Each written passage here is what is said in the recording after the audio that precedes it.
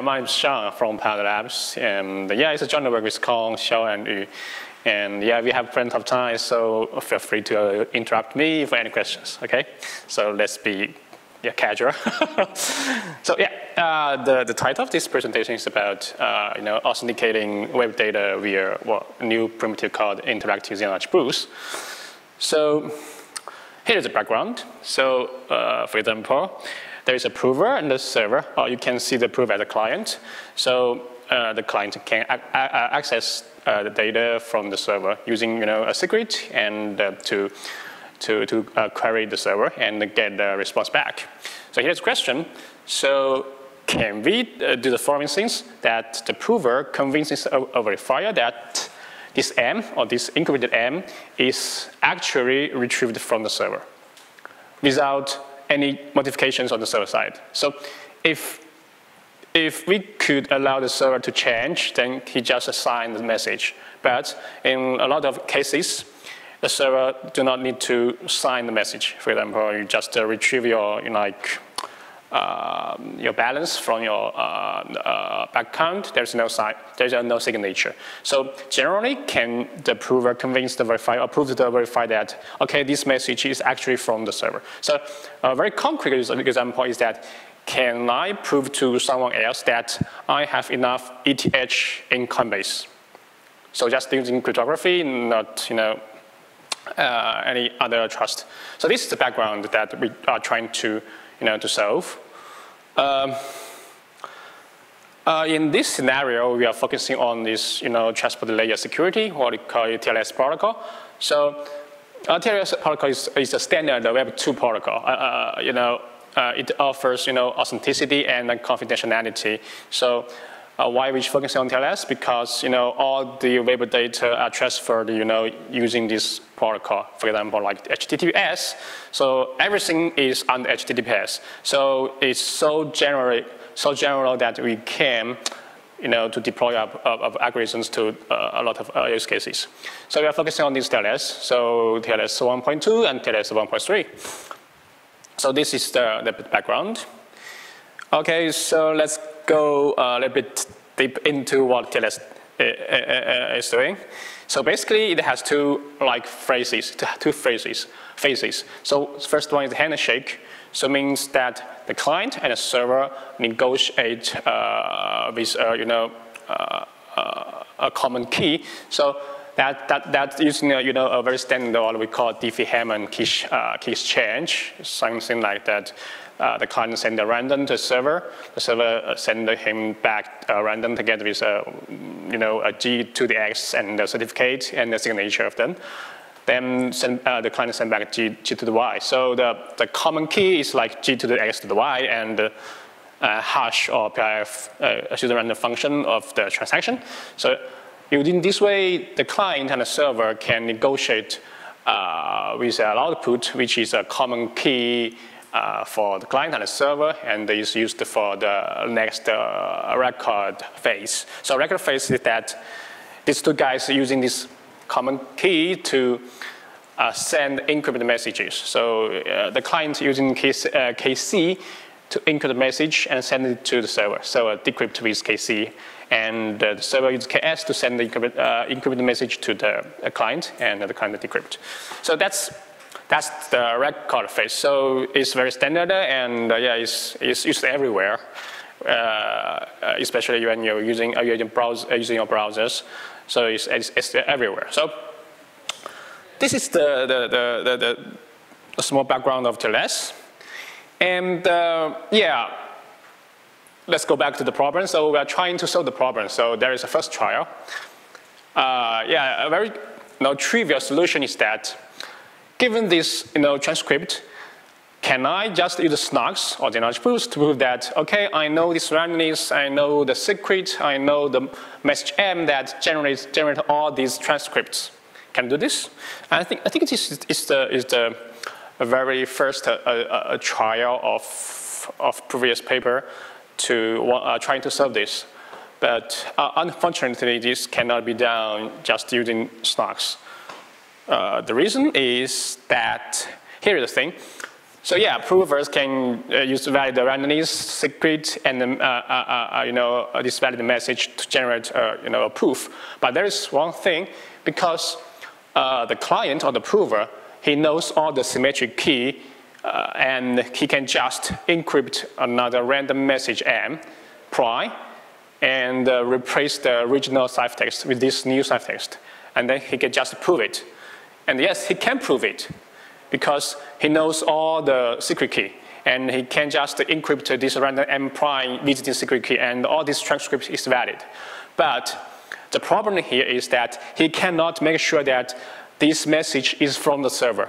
He can just generate it, but you cannot make sure or you cannot convince the verifier that this message is from the server. It's valid, but it's, not, it's probably not from the server. So that's the key point. So yeah, and the first try, uh, I think the first try is, uh, uh fails. And, uh, and uh, in, a, in, a, in a previous paper that called DECO, is decentralized oracle proposed by uh, John and other, other, other cryptographers in like in 2020. Yeah, they came up a, a solution. So the solution is, is like this. So instead of you know the prover and the server establish a, a channel by themselves. So the verifier is uh, partic uh, participating this handshake phase. So it's called a three-party computation handshake or three-PC handshake, which means that uh, after this process, the server can get the session key, but the prover or the client only get half of the session key, and the other half is given to the verifier, which means that the prover and the verifier together establish a channel with the server, but the prover himself cannot access to this, uh, access to this, this channel. So uh, in this case, if the prover wants to send a message to the server, he has to run a two-party computation protocol, MPC protocol, to generate this kind of ciphertext and then send to him. So when the server send back this C, C2, okay, the prover just forward this, oh sorry, the, just forward this message to the verifier. In this case, the verifier can ensure that this C2, the, uh, this C2 is actually from the server. It's not generated by the prover himself.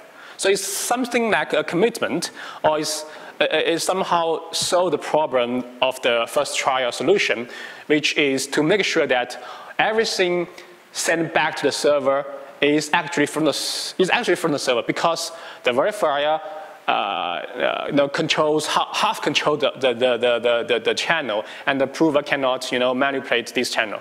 So this, the, this is the uh, basic idea of this Deco solution.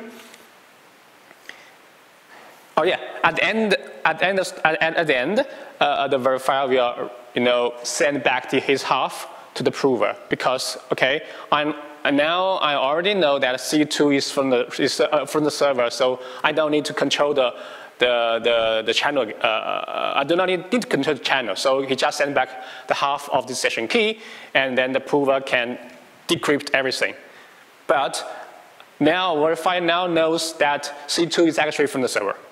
So next step is that in this case, so the verifier knows KV, C1, C2, and uh, okay, prover need to prove that. Okay, uh, user must prove that I know KP secret M that generate these stuffs.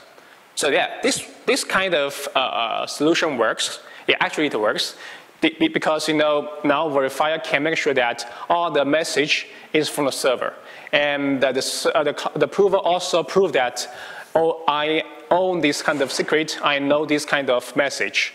So this is good, this is good. However, there's one thing, there's you know, one drawback of this solution, which means uh, uh, one thing is a DECO paper has to use, you know, uh, a maliciously secure two-PC protocol, which is very heavy. So they are using something like uh, something called authenticated garbled circuit. So it's, it's very costly uh, is like more than 10 times slower than its uh, you know, semi-honest uh, counterparts. And there's one other thing is that SNARKs. So TLS has a lot of ciphers, like SHA, like AES, like uh, multiplications over this kind of, you know, Galois field. So the prover has to uh, use, use SNARK to prove uh, the relations under this kind of, you know, unf unfriendly ciphers, which is uh, very costly, especially for in terms of, you know, uh, proven time, in terms of, you know, memory consumption. So it's very, it's, it's, it's very heavy. And as far as I know, um, the DECO, uh, you know, the, the DECO solution is now, is, is not, you know, deployed right now, and it's only a, a, a paper published. So, so uh, our goal is that can we find another way to, you know, uh, you know, to uh, uh, overcome all these uh, uh, barriers. So yeah, our paper actually, yeah, proposed a new paradigm what we call garble then proof. So basically, so we can replace this authenticated garbled circuit with semi-honest garbled circuit. Then we have 10 times improvement.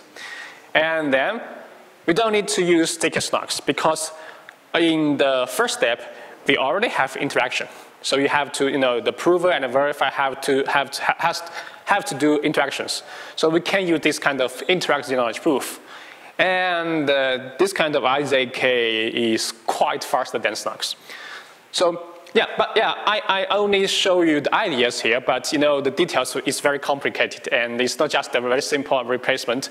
So especially you have to using IZK to prove kind of, you know, key derivation functions, which is a bunch of SHA.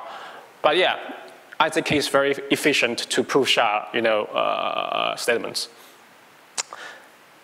And uh, yeah, as a result, the uh, improvement is something like that, like this. So we actually uh, optimize this kind of uh, KDF to reduce the uh, gates, you know, from you know uh, like uh, 300,000 to like three, uh, 700,000 to like 300,000, which is about three times improvement. And the, the, computation is almost 10 times faster. And in this case, we do not measure in the SNARK part if we want to uh, measure in the SNARK part, uh, we, uh, it could be much faster. So the communication size is like uh, 14 times uh, low, uh, lower, and the memory, yeah, our memory consuming is, is, is very low, it's very small, so it's like just a, 100 um, megabytes, so it's, it, it's, it's, it's, it's very low. So as a result, our improvements allow our product to be deployed within browser extensions. Actually, we already developed a product that put everything in a call extension. And yeah, it's also it's, it's already available right now.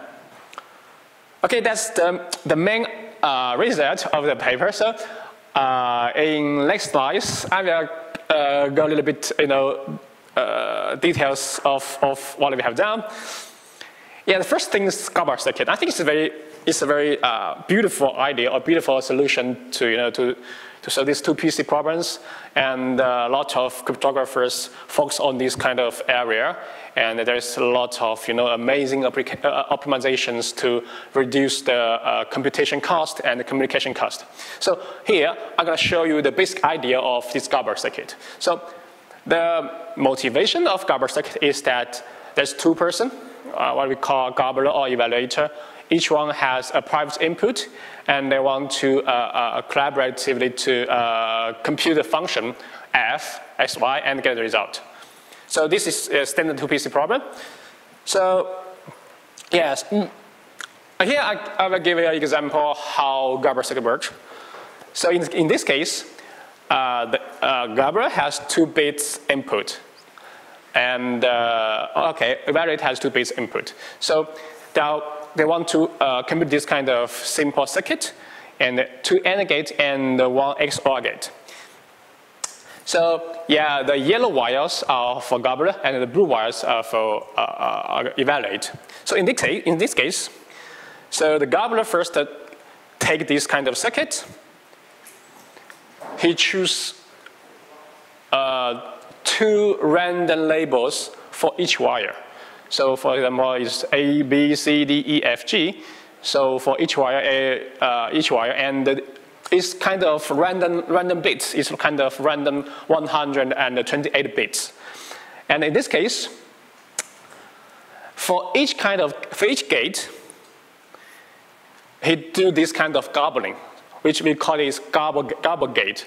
So for, for example, let, uh, for this AND gate, so the garbler using the input wires, so he, he, he, he's using a two-keyed uh, encryption scheme. He's using this kind of two uh, labels to encrypt the output label. So for example, for this gate, there is an encryption using A, B to encrypt E. So the way uh, garble, uh, uh, this gate is that the index of E is actually the index, uh, uh, is actually the end of index A and B. So for example, this is the gate. So uh, only the last, uh, uh, you know, uh, is using E1 because one and one is one is uh, zero, zero, zero, uh, uh, zero and zero is zero. So one and one is one. So this kind of garbled circuit, garbled gate is uh, you know corresponding to this kind of specific gate. So he can do all these gates, and then he send this garbled circuit. Yeah, sorry. He send this kind of garbled circuit to the evaluate together with you know this kind of output gate, output label, G0, G1, which uh, represent a, zero bit and one bit. And together, he also send the uh, uh, input label of garbler because if uh, his, his, his, input is zero, uh, the garbler send A0. His, uh, the other one is uh, one, then he sends uh, C1 to the evaluator. So there are some kind of labels missing so it's uh, B and D. So there is a very standard way called the oblivious transfer. So the evaluate uh, use this kind of bits, his input bits as selected bits. And uh, he can select the label B and the label D according to his uh, uh input. For example, now he gets B1 and D1. And the garbler cannot uh, figure out uh, what kind of label he's choosing. And uh, also the evaluator cannot know uh, other, you know, B, B0 and B, D0. So in this case, the, the evaluator now gets A0, B1, C1, D1. So for each gate, he do the decryption. So for example, in the first gate, uh, the evaluate can get can decrypt the third uh, ciphertext to get you know E0 and then get F1. So he's using E0 and F1 to decrypt the, the last gate to get G1. Okay, G1 stands for 1, so for bit 1. So he can get the, he can get the, uh, the output of all the garbled circuit. So this is a very basic idea of uh, back to like uh, 1986 It's, is, is quite inefficient. It's, it's not efficient. So after 40 years, it's blazingly fast. So um, as there's a very nice property of garbled circuit, so you know the security of uh, uh, security GC is highly asymmetric, means that it's secure against malicious evaluators. Yes, it's, it's, it's, it's, it's, very, it's a very nice property, but it, uh, it's only secure against uh, semi-honest garblers. So because the garblers can, you know, they just garble a different uh, function f prime to get information of the evaluator. So this is, uh, we actually using this kind of uh, asymmetric property of garbled circuit, which is, which is uh, very uh, good for us to do the optimizations. And you know, after 40 years, now GC is blazingly fast. We're using a lot of uh, you know, optimizations like AES-NI instructions, like using this kind of set of uh, half gates, three halves. So in current implementations, we can garble like uh, 20 million AND gates per second. And all these XOR gates are for free. So that's, that's blazing fast. And I think this is very fast. Okay, so far so good. It's about garbled circuit. Yeah. Uh, yeah, I think now is a new uh, a new primitive called uh, interactive zero knowledge proof. So it's kind of very new to the community, I think. And uh, actually, we're using this kind of VOLE. Yeah, I have to, I have to, I have to uh, uh, uh, uh, that it's interactive, and we cannot use Fiat to make it non-interactive because it's private key, it's not a public key. So in this kind of uh, you know uh, uh, protocol, so the verifier will have a global secret called delta. So he will keep this kind of secret delta, and um, uh, these two parties were using uh, a, a, tool called VOLE, Vector Oblivious uh, Linear Evaluation. Yeah, it's kind of a new, you know, protocol, new uh, tool to generate massive types, tuples of this random KI, and satisfies this, you know, Ki equals Mi plus Bi times delta. So Ki, Mi here are, you know, bits, and Bi is just one bit. So it's kind of information theoretical MAC. So it's widely used in these IZK systems. And uh, yeah, I'm not going to show how VOLE generate this kind of tuples. It's, it's very complicated, but I just show you that, yeah, we can do that, and we can do it very, very efficiently. We can like do, to generate like uh, uh, 10 million tuples in just one minute, uh, in just one second, sorry we can generate very fast, efficient fast, very, very, very efficient. And uh, yeah, so given this kind of types, we can do the large proof. Yeah, it's very, it's very interesting. And uh, this kind of uh, you know, random types enable us to build very efficient interact zero-knowledge proofs. And you know, all these operations here is very cheap. It's not like you know, Snarks has to, uh, you know, to, to handle FFT, to handle you know, MSM, which is very heavy, and in IZK, everything is very cheap. It's just bits. It's just uh, XOR. It's just uh, yeah, just XOR, and uh, that's that's there's uh, and you can speed you can speed it up using you know uh, instructions like AES uh, NI instructions or other kind of you know SSE instructions. It's very fast. So yeah, you know here is a very simple trick that given this kind of Ki, Mi, Bi for this all kind of random things, and uh, uh, witness W, and uh, we, we uh, decompose it as bits. So the prover just send what we call the difference between a Wi and Bi, send these kind of things to verifier, and then they can get, he will get a new Ki. And this kind of Ki and uh, MIWI also satisfy this kind of uh, you know, relation. This is what we call a MAC, a MAC of the uh, witness, or the MAC, a MAC of the, of the input. So using this kind of uh, uh, very simple way, we can handle, you know, we can prove, you know, circuit satisfiability for very large circuit. And yeah, the key point, so if you're focusing on uh, add, uh, uh, add gate, it's very, it, it, can be done locally because it's linear. Everything's linear. You can, you can, you can handle this kind of add gates for free. So the major part here is how you handle this uh, multiplication gate. So suppose we have, you know, yeah, suppose we have these uh, two kind of, uh, three kind of uh, typos here, B1, B2, and B3, you have to prove that B1 equals B2 pi, uh, uh, uh, times B2. So yeah, here's a, here's, here's a trick that we call, yeah, I know this is very complicated, just, you know, you just uh, yeah, trust me that you can just uh, use this kind of computation, you can get the result, what called B equals A0 times A1 times, uh, uh, uh, plus A1 times delta. And it can, uh, these, two, uh, these three tuples can be rewrite in a new way as long as B3 equals B1 times B2, as long as this kind of uh, terms is cancelled.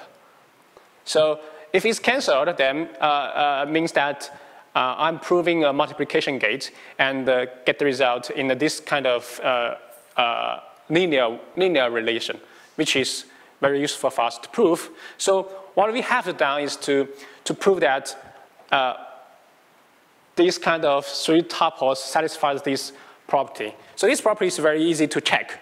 So how to check? But just using, you know, check with mask then open. So we just mask everything. and then open these stuffs. Because we are masking A0 and A1, so this message is, is totally random, and then we just send it back to verifier, and the verifier just check this linear uh, equation uh, holds, and which is very fast. And then, in this way, we can um, efficiently uh, prove to the verifier that these two wires, uh, these three wires satisfy this kind of multiplication uh, relation, which is very fast. And also, uh, as we know, uh, in a circuit, there is a lot of multiplication gate. So there is a certain way called, you know, using random linear combination, we can check a lot of multiplication gate just uh, in one shot. So just using this kind of, you know, uh, random linear combination is a very standard way to uh, prove multiple, uh, you know, uh, multiplication gates, and this is very fast. Okay, so uh, I'm going to show you some numbers. So the reason we say that IZK is blazing fast is that from our experiment, we can prove one trillion AND gate using just uh, $2, which is quite fast. And uh, uh, we can just we can prove you know one trillion multi gates over uh, uh, 41 bit field with just using uh, 2.5 US dollars. So this is kind of our you know uh, benchmark on different kind of machine, and the machine is very you know it's, it's, it's, it's, it's not powerful. It's a very unpowerful machine, just two vCPUs and one gigabyte memory. So it's very, it's very cheap. It's, it's quite cheap. And of course, eh, in, the, in our IZK, we have to, you know, we are interactive, so we have to consider uh, this network bandwidth. So yeah, we are using some kind of proper bandwidth to do the, uh, to do the experiments. And, but it's still very fast, quite fast. And yes, we can do a lot of things using IZK. So in a paper yes, uh, last year.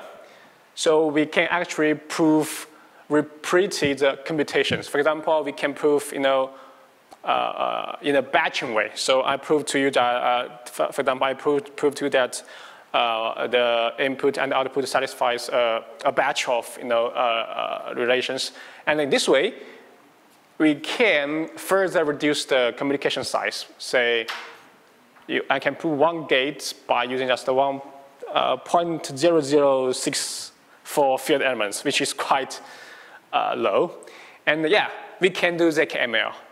Uh, I know, yeah, now people in the community doing ZKML using SNARKs. Yeah, I know that. And uh, the, the, the, benefit using SNARKs is that uh, you can, uh, the result can be verified on chain because it's non-interactive if um, is not required to be non-interactive, then we can use IZK to prove, and uh, the, power the power of IZK to prove machine learning model is much more uh, powerful than zkSNARKs. Actually, a paper uh, I read uh, last year is that we can, you know, prove very complicated uh, uh, models like ResNet 101 means there's over 100 uh, you know, uh, layers of the, of, the, of, the, of the network. And we can do it in less than like 20 minutes. And actually, the, the benefit of using IZK is that um, the memory consumption is not a bottleneck. We, you can just prove uh, as long as you want. You can just prove as long as you want, and can, you can also, you can, uh, at, at, the end, you, you will finish the proof. But yeah, uh, there's, there's no memory limit here. And also, um, my new paper this year is just can detecting bias in federated learning using IZK and uh, just to improve like 10 times faster and even more. So actually, we found that IZK, uh, yeah, is, is, is, quite fast and has had a lot of uh, very exciting and interesting applications and uh, ZK cannot do. But yeah, there's, uh, you know, this advantage of the IZK is that he has to be interactive. It has to be interactive. Yeah, that's the, that's the only, you know, uh, uh, disadvantage here. Okay, let's get back to our problem. So yeah, we're trying to, you know, to do this kind of uh, proof system. So now using our new protocol, so it's kind of like this. So first of all, yeah, it's also a two-PC protocol, but we're just using semi-honest garbage circuit, which is like 10 times faster than uh, maliciously secure garbled circuit. Yeah, it's 10 times faster, just faster. And then, yeah, when send a message and then using semi-honest garbled circuit. And uh, yeah, this kind of things is very similar to, to, to, to DECO. And at the end, we now using IZK to prove. We are not using you know, Zegas to prove this stuff, this stuff because IZK is very compatible with these Boolean circuits. He can do it very fast. So using we have to prove that like, the KDF is computed correctly and uh, I know a lot of things. I know this kind of witness to generate this you know, uh, data. So yeah, this kind of, uh, just that simple, but yeah, I, I explain it in a simple way, but you know, if you want to look at uh, our paper, it's like 60 pages, and it's, it's, it's, very complicated because we spend a lot, you know, spend a lot of time to, to handle these corner cases because when we're using this kind of new idea, a new uh, protocol, we have to handle a lot of corner cases, especially in the security proof, which is very, you know, which is very subtle. So that's our performance comparing to DECO. So yeah, we do a lot of uh, you know uh, uh, experiments. So basically, we are like 10 times faster than DECO in in different scenarios. Yeah, and um, we also show that our protocol is global scale, which means uh, we conduct a, a series of experiments by deploying uh, the verifier in like 18 cities all over the world. So yeah, let me explain a little bit. So we actually uh, approve, uh, you know, Coinbase APIs and Twitter APIs. So the, the yellow one is Coinbase, the green one is, Coin, uh, is, is Twitter. So, and the time um, uh, time outside, uh, the, the, time from is, is online time and total time, which means that we can separate the whole processor into off time and on time, which means that uh, uh we can do off time uh, before the, you know, the proof uh, starts, which is, it can be, you can do it anytime.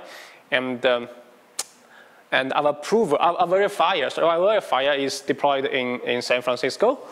And uh, yeah, you can show that the, the worst case is probably here, South Africa, and it takes like 10, 10 seconds to prove. But if, uh, but there is a very natural way to optimize it. It's just by deploying the, the, uh, the verifier very close to this prover, because now uh, latency, uh, network latency and the network uh, uh, bandwidth is the major bottleneck. But yeah, we can still accept this kind of performance because it's, it's, it's also very fast. It's also still you know, uh, satisfies a lot of requirements in real applications. Yeah?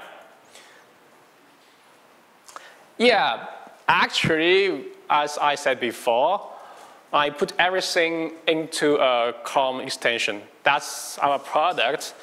So in our product, it's, yeah, it's, it's called extension. Our product, you can actually access to different kind of centralized exchange. And uh, you can prove to PADO that uh, how many assets you are holding in a centralized exchange. For example, how many, uh, the, the, amount of assets are you holding in, in Coinbase. And you can prove to other guys that what kind of token you're holding. Yeah, you can take it as you know, a, a private oracle that uh, I can prove uh, off-chain data to a third party, and this kind of data can be you know, uh, transferred to on-chain and for on-chain applications.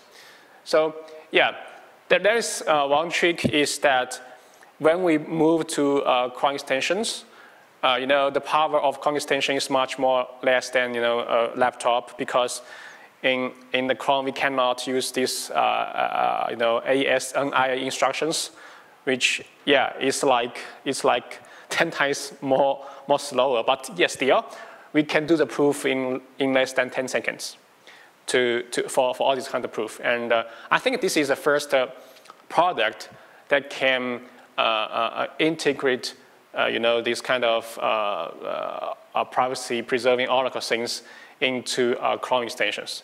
And our next step is to move it to, you know, mobile, and which will be much faster because we can use, you know, AES-NI and other stuff to speed up. So yeah, this is the, this is what we have done uh, uh, uh, in our product. Yeah. Ah, okay, that's basically uh, my presentation. And yeah, our paper is now available. And uh, you can also download our extensions. And uh, yeah, you can yeah, yeah, yeah, at our uh, Twitters, yeah, you are happy to, uh, you know, to talk about anything, the details of our product or our uh, uh protocols. Yeah, that's, that's, that's all. Yeah, thank you. So any questions?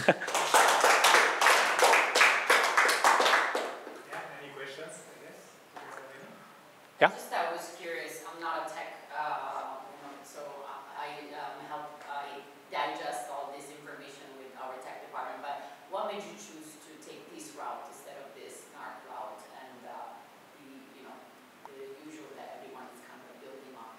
Is it in terms of just speed or just what is the like end goal? Yeah, uh, that's a very good question. So so basically, yeah, we are thinking about the thing this way. So uh, our vision is actually we want to bring you know, Web 2 data to, to, you know, to, to a smart contract. So we want to bring every internet data to smart contract. So there is um, a gap now. So currently, smart contract can access you know, uh, you know, current data or historical on-chain data or maybe public data using Oracle. But there's one thing missing is the smart contract cannot access you know, off-chain private data right now this is a big miss, uh, you know, big gap between, you know, especially if we want to make smart contract more smarter, much more smarter to handle this kind of data-driven applications. There is, uh, we have to, to find a way to, you know, to bring all this internet private data to smart contract. This is our motivation.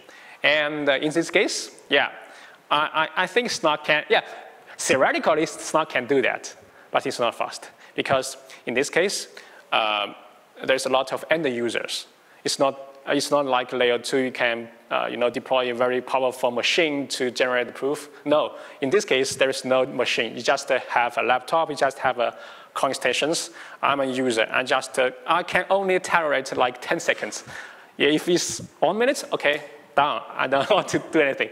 So performance now is, uh, uh performance now matters here. So we are choosing this kind of new algorithms or new you know, primitives to uh, make good uh, you know, user experience, to enable you know, privacy preserving applications using ZK, yeah, something like that. Yeah. Thank you. Yeah?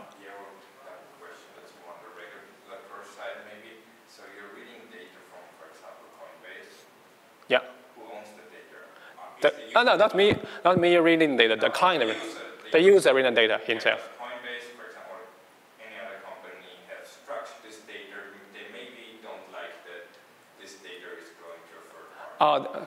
Oh, a very good question. So, yeah. In this case, it's maybe not too sensitive, but in other use cases, I can imagine that companies, web companies, don't want to have their data stolen away or reclaimed by the users because then their business model is kind of screwed? Yeah, but yeah, uh, this is a good question. But there is, you have to imagine there is a, uh, imagine that there is no such question, uh, there is no such solution. So there has to be a way that I have have a way to access my data because yeah, this is my balance account. You, you have to show me the balance of, of my background, uh, back, uh, bank account, right? So there is there has to way, be a way, and the you know, most common ways that I can access my data using webs. You know? Uh, so if you're using uh, uh, browsers, then you're using HTTPS. If you're using HTTPS, then we can use this kind of protocol. So yeah, but yeah, I, I think in the future, it's my right to access my data, right? If you put data to some company, the company let's say enhance the data by using whatever algorithm they have, then they display you this enhanced data. Oh, well, that think Coinbase has a, a very interesting terms of condition for that data, different from other exchanges. So I think that they make the third. Uh, yeah, it's actually got. Yeah, actually, all these kind of centralized exchange uh, already offer you know APIs for you to access your data, right? Yeah, but yeah, but yeah, if you are a company, you're a data company, you, you have to provide a way for you to access, you know, something, right? Yeah, you have a passport, and you have a username to access kind of, kind of data. Maybe it belongs to you, maybe it's just public data, but there is, there is a way to do that, right? Or, or otherwise, there's no business model for this kind of data company, right? So there's, there has to be a way for you, for their, you know, you know, business model, for their, you know, commercial, uh, you know, motivations for to do that. So um, yeah, we assume that there is there has to be a way you have you can access at least part of your own data. Yeah, this kind of assumption, but we think that this kind of assumption is very valid. Yeah, thank you. Yeah. Um, I'm wondering why use a browser extension instead of an iframe. Is there something that needs to be hidden from um, like certain like web processes, or just made sense to make it? Like, was there a reason for opting for an extension instead of uh, instead of iframe? Yes, what? Uh, was there a reason for opting for a browser extension instead of an iframe? Uh, no, yeah. Uh, uh, using uh, Chrome extension is that you know in in the Web3 community, everybody is very com- uh, you know comfortable with Chrome extensions. But yeah, it's not the best choice. Actually, actually, if the users want to use you know a mobile phone, then we can put everything to a mobile phone, and it could be much faster. Because yeah, we have to you know you know, to kind of uh, satisfy the requirements of the client now in the community. So everybody using, you know, using Chrome extensions, right? yeah, that's, that's the reason we are using this extension here. Got it. Yeah. Okay, thank you. Okay, that's all. Thank you.